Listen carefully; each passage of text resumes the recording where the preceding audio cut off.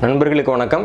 இப்போ அரிய நாணயங்கள் அப்படின்னு சொன்னாலே அது வந்து அரசர் காலத்து நாணயங்களாக இருக்கணும் ஆங்கிலேயர் ஆட்சி சேர்ந்த நாணயங்களாக இருக்கணும் அரிய உலோகங்களான நாணயங்களாக இருக்கணுன்ற அவசியம்லாம் கிடையாது.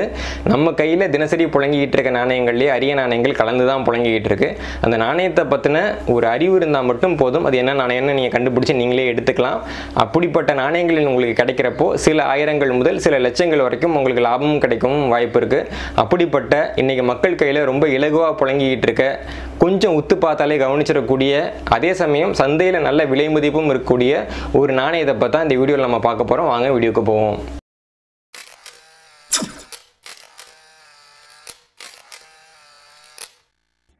இந்தியாவில் அலைவடிவ சின்னம் பொறிக்கப்பட்ட ஸ்டீல் ஐந்து ரூபாய் நாணயங்கள் கடந்த ரெண்டாயிரத்தி ஏழு மற்றும் ரெண்டாயிரத்தி எட்டாம் ஆண்டில் வெளியானது.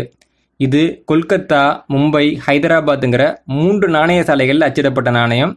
இதில் ரெண்டாயிரத்தி எட்டாவது ஆண்டில் கொல்கத்தா நாணய சாலையில் இந்த நாணயத்தை அச்சிடும் பொழுது ஒரு பிழை ஏற்பட்டது. அதாவது கொல்கத்தா நாணய சாலையில் அவங்க என்ன செஞ்சாங்கன்னா இந்த ஐந்து ரூபாய் நாணயத்துக்குரிய பின்பக்க அச்சுக்கு பதிலாக அதே ஆண்டை சேர்ந்த ஐம்பது பைசா நாணயத்தோடைய அச்சை மாற்றி பயன்படுத்தினாங்க. இதனால் ஒரு மியூல் நாணயம் உருவாச்சு. மியூல் நாணயம்னா என்னென்னா ஒரு குறிப்பிட்ட நாணயத்தை உருவாக்குறப்போ அந்த நாணயத்துக்கு உரிய அச்சை பயன்படுத்தாமல் இன்னொரு நாணயத்தோட அச்சை மாற்றி பயன்படுத்துறது தான் மியூல் நாணயம். ஏற்கனவே நம்ம பயிற்று படைப்பகமில் நிறைய மியூல் நாணயங்களை பற்றி வீடியோ போட்டிருக்கோம். பார்க்காதவங்க கண்டிப்பாக பார்த்துருங்க. ஐம்பது பைசாவுக்கான பின்பக்க அச்சு ஐந்து ரூபாய்க்கான பின்பக்க அச்சுன்ற இந்த ரெண்டு பின்பக்க அச்சுகளும் பார்க்கறதுக்கு ஒரே மாதிரி இருந்தாலும் இது ரெண்டுக்கும் நடுவில் ரெண்டு வித்தியாசங்கள் இருக்குது முதல் வித்தியாசம் ஐந்து ரூபாய் நாணயத்தோட அச்சோட விட்டம் இருபத்தி மூணு மில்லிமீட்டர் ஆனால் ஐம்பது பைசா நாணயத்தோட அச்சோட விட்டம் இருபத்தி ரெண்டு மில்லிமீட்டர் தான். இதனால் மாற்றி அச்சு அடிக்கப்பட்ட நாணயத்தில் கொஞ்சம் வெற்றிடம் உருவாகியிருக்கு. அது நீங்கள் பார்த்தீங்கனாலே தெரியும். ஒரு பெரிய வரம்பு இருக்கிற மாதிரி நாணயத்தை சுற்றி இருக்கும்.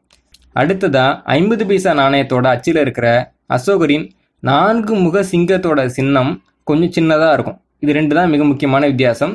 இந்த ரெண்டு வித்தியாசங்களை வச்சு ரெண்டாயிரத்தி எட்டாவது ஆண்டில் சரியாக அச்சடிக்கப்பட்ட நாணயம் எது? கொல்கத்தாவில் மாற்றி அச்சடிக்கப்பட்ட நாணயம் எது அப்படிங்கிறத நம்ம எளிதாக கண்டுபிடிக்க முடியும்.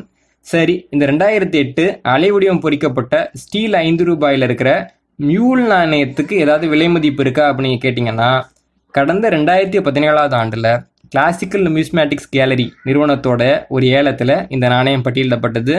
ஐந்தாயிரம் முதல் ஆறாயிரம் வரைக்கும் விலை போகும் அப்படின்னு கணிக்கப்பட்ட இந்த நாணயம் கடைசியில் ஐந்தாயிரத்துக்கு விலை போச்சு.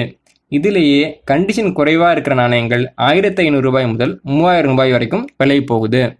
என்ன நண்பர்களே ரெண்டாயிரத்தி எட்டு ஐந்து ரூபாய் கொல்கத்தா மின்ட் மியூல் நாணயத்தை பற்றி பார்த்தீங்களா இந்த நாணயத்தை சர்க்குலேஷன்லேருந்து எடுக்கணும்னு நினைக்கிற நபர்கள் வந்து ரொம்ப நல்லது வாழ்த்துக்கள். நீங்கள் வந்து இந்த நாணயத்தை கவனிச்சிட்டிங்க.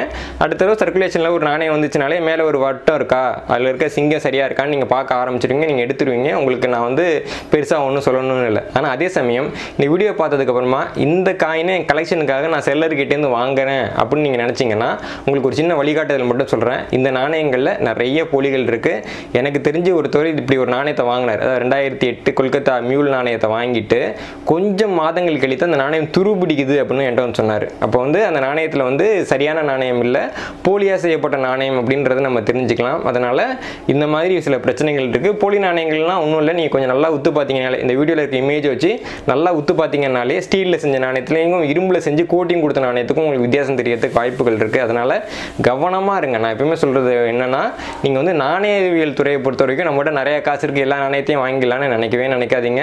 நிறைய அறிவு இருந்தால் மட்டும்தான் இங்கே நிறைய நல்ல நாணயங்கள் கிடைக்கும். அந்த அறிவை நீங்கள் தொடர்ந்து பெறுவதற்கு பயிற்று படைப்பகத்துடன் எப்போதும் இணைந்திருங்கள். நன்றி வணக்கம். லைக் பண்ணுங்க ஷேர் பண்ணுங்க சப்ஸ்கிரைப் பண்ணுங்க. மறக்காமல் அந்த பெல் ஐக்கானை கிளிக் பண்ணுங்க.